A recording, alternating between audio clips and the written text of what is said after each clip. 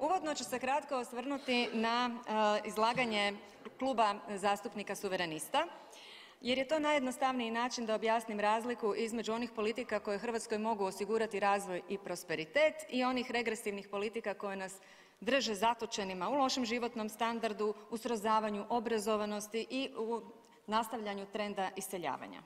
Dakle, zastupnik suverenista je rekao da je demografija rak rana hrvatskog društva. E pa nije. Rak rana hrvatskog društva je HDZ i razno razni Zekanovići i drugi žetončići. Rak rana hrvatskog društva je korupcija. Znanstveno istraživanje docenta sa Hrvatskog katoličkog sveučilišta dr. Tada Jurića to i potvrđuje.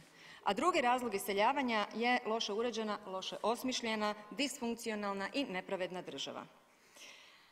Zastupnik iz Kluba suverenista optužio je nove politike, nove mjere u Zagrebu, ali i u drugim gradovima za cinizam i za farizejstvo.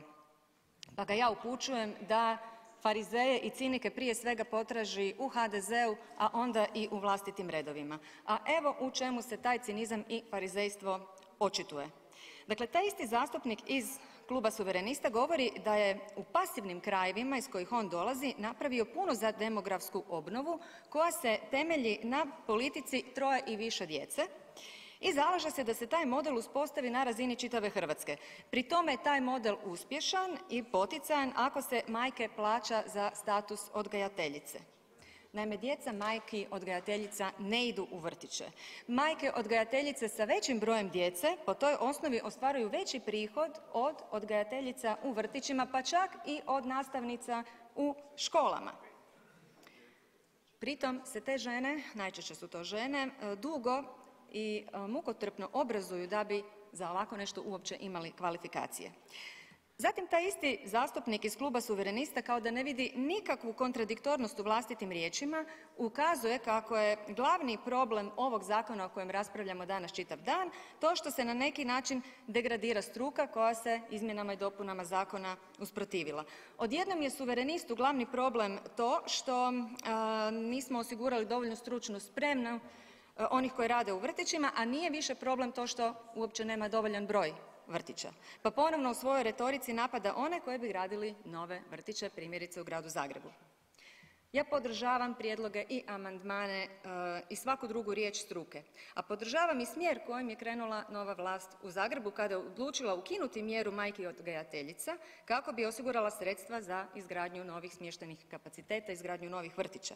A ukoliko u provedbi ove mjere bilo krivih odluka nadam se i vjerujem da će oni biti ispravljene, ali da će smjer ostati isti. Zalažem se za društvo jednakih šansi, a ono počinje u vrtićima i svakom djetetu moramo osigurati mjesto u vrtiću i što kvalitetniji predškolski program koji provode oni koji su za predškolski odgoj primjereno obrazovani i za obavljanje tog posla primjereno i plaćeni. Zalažem se za društvo koje je svjesno da brže napreduje kada žene uključi u tržište rada i ne potiče ih da ostanu doma zatočene u svoja četiri zida. Demografske mjere kakva Hrvatska treba su stvaranje dobro uređenog i dobro organiziranog društva u kojem će oni koji su u prokreativnim i stvaralačkim godinama htjeti ostati živjeti ovdje i ovdje će moći ostvariti svoje potencijale. A s obzirom da sam se u svom izlaganju pozvala na zaključke demografa Tada Jurića da je korupcija glavni razlog iseljavanja, na ovaj zakon podnijela sam nekoliko amandmana kojima se ispravlja korupcija na svojim izvorima.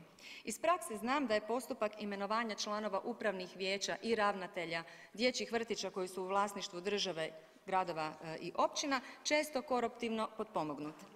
Nepotizam, klijentelizam, stranačko uhljebljivanje ovdje su najčešći, a ujedno i našim građanima najvidljiviji, najbliži i pogađaju ih tamo gdje je nešto njima životno bitno.